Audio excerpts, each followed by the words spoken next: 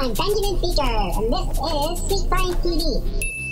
Science is sweet. Sweet Science TV presents Sweet Scientist Spotlight. Galileo Galilei.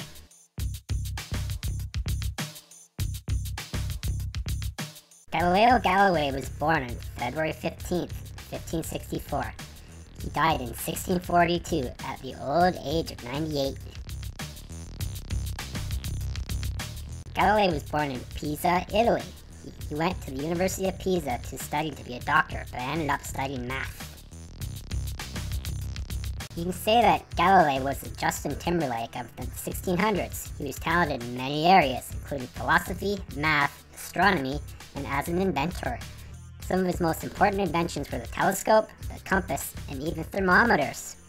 Galilei would often look into the skies and wonder what was out there, so his biggest passion revolved around his telescope to help him see the universe. In 1610, he was able to see Jupiter's four moons. Maybe his most important work was what he was laughed at for the most. Galileo proved that our planet was not the center of the universe as the Catholic Church believed. You can imagine that this didn't sit well at the time. He was actually put under house arrest and forced to take back his beliefs.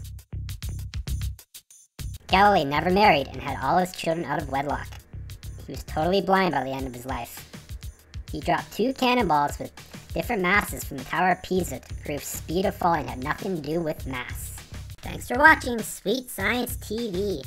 Science is sweet.